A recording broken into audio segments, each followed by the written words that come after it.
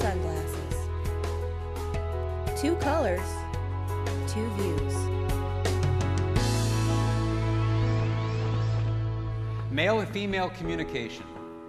It is a fun topic. It is a fun topic. She says, I have nothing to wear. What she means is she has nothing new. he says, I have nothing to wear. What he means is he has nothing clean. I liken it to the fact that, that God made women to look at the world through pink sunglasses. And it colors what she sees. In fact, I don't know if you know it, but she has pink hearing aids. It affects what she hears. And in fact, she speaks through a pink megaphone.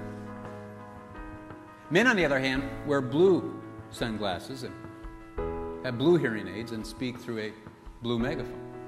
So, for instance, if that woman is among 10 women and she says, I have nothing to wear, she speaks that through her pink megaphone.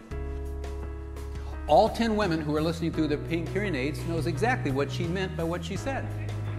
Oh, honey, I don't have anything new either, but we're going shopping in a few minutes. You want to come down with us? If that guy is speaking to 10 guys through his blue megaphone and they're listening through their blue hearing aids, I don't have anything to wear. They'll all say, She ain't doing your laundry either. Come to the Love and Respect Marriage Conference.